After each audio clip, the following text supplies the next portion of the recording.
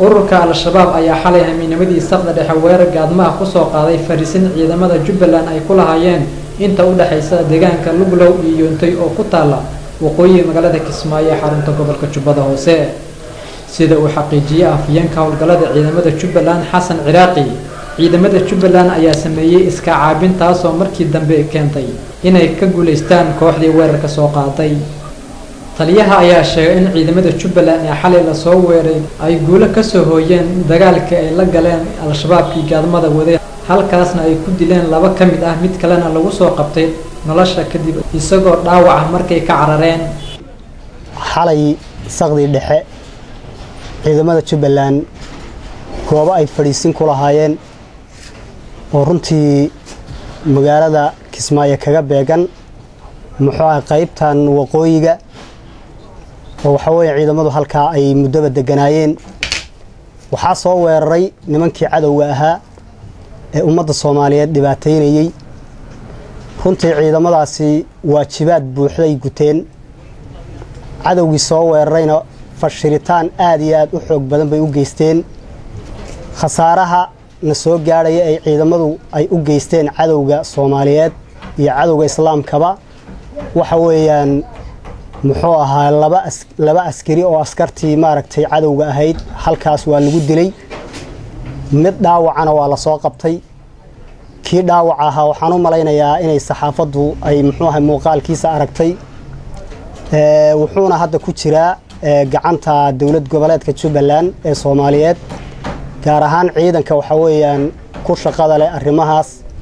Meel isbitaal ahoo maaragtay hadda lagu daweynaya uu ku jiraa runtii waxa weeyaan barnaamijkaasi si guul ah buu ku soo dhammaaday. Ciidankuna afar iyo labaatanka saacba wuxuu u taagan yahay inuu ka difaaco ummadda soomaaliyeed nimankaa dadka dhibaataynaya. Habeenkii xalay ahaa ciidamada jubbaland guulahaasay gaadheen. Haddana waxay heeganka ugu jiraan maalin iyo habeenba sida ay uga ilaalin lahaayeen ummadda soomaaliyeed ummadda dhibaataynaysa ee canaasiirta. ee runtii waxaa weeyaan balaag listiga geliyey ummadda soomaaliyeed nolosha kala dagaalamaya inay si bini-aadannimoa u noolaadaan kala dagaalamaya arrimaha noocaasana wax loo dulqaadan kara ma aha. Ummadda soomaaliyeed waxaan is leeyahay siday nimankaa isaga qaban lahaayeen qof waliba inuu ku fikirayaan rajaynayaa dowlad goboleedka soomaaliyeed ee jubbalandna waxay diyaar u tahay iyo dowladda soomaaliyeed ee federaalka. Waxaan u malaynayaa insha allahu tacaala hadda wixii ka dambeeya in muxuu gacan bir a lagala hortegi doono ciidamadu ayagoo midaysan. Guud ahaan siday shaqada u qaban lahaayeen hadda way diyaar miiskuu saaran yahay. Waxaan leeyahay ummadda soomaaliyeed idinkoo aad iyo aad u mahadsan in muxuu ahay sida kansarka laysaga ilaaliyo nimanka cadowga ee ummadda soomaaliyeed dhibaataynaya jabka iyo guuldarrada xalay soo gaadhayna. Waxaan u malaynayaa in ummadda soomaaliyeed loo soo bandhigi doono meydkooda iyo dhaawacooda intaa kuma koobnee waxaa weeyaan bisha rabadlaan siday u bilatayba waxaa weeyaan iskudaygii ay isku dayeen inay maaragtay ummadda soomaaliyeed dhibaateeyaan. Aad iyo aad baa muxuu ahay loogu jebiyey. Ciidamada jubbaland guulaha ay gaadheen waxaa ka mid a waxaa weye laba toddobaad ka hor inay soo weerareen muxuu ahay bara kontaroolo ay ciidamadu lahaayeen.